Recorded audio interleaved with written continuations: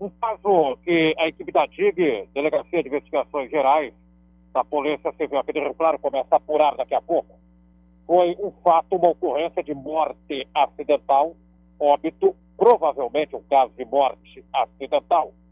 Fato que aconteceu, na verdade, anteontem, no finalzinho da tarde, na Avenida 2, aí da região central de Rio Claro.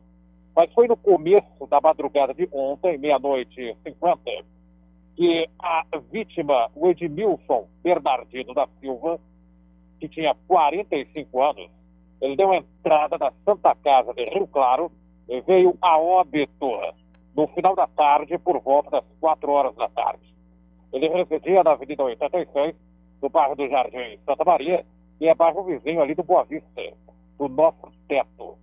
Segundo o declarante, que é o irmão da vítima fatal, de 50 anos, que mora no mesmo endereço, o seu irmão, anteontem, estava trabalhando como pintor de parede em uma obra na Avenida 2, aí na região central, ao lado de um rapaz que não foi identificado.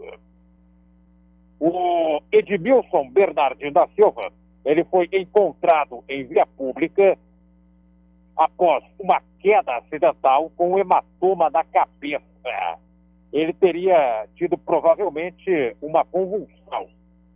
Ele foi encaminhado, socorrido até a Santa Casa de Rio Claro, no comecinho da madrugada de ontem, meia-noite e cinquenta, e depois não resistiu e veio a falecer. A hora da comunicação aqui na delegacia do plantão foi ontem às sete e cinco da noite, com o delegado plantonista o doutor Rodrigo Marcel Porto e também o trabalho do escrivão de polícia, o Sandrinho Mainardi, o investigador de polícia, o Lucas. Furto qualificado por residência. E o que me chamou a atenção desse furto, que aconteceu na rua 21, no bairro do Wenzel, ontem à tarde, foi que os ladrões, os brilhantes, levaram instrumentos musicais. Uma guitarra e um cavaquinho. A vítima foi um morador de 37 anos que trabalha no setor de almoxarifado, ele é divorciado, estava trabalhando.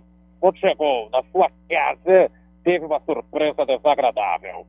O portão eletrônico não abriu, ele teve que entrar pelo portão social e aí constatou ação de furto.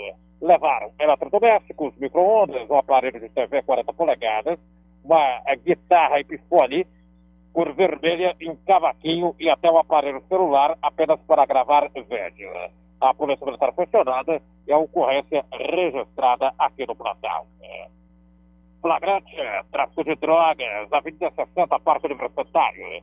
Comecinho da madrugada de hoje, o traficante detido pela Guarda Civil Municipal tem 20 anos. Desempregado mora no bairro.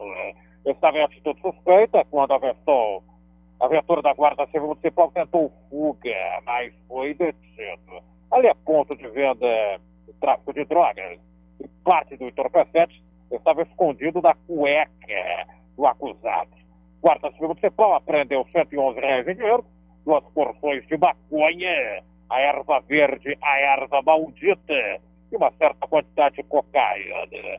O acusado apresentado aqui na delegacia do plantão foi preso em flagrante.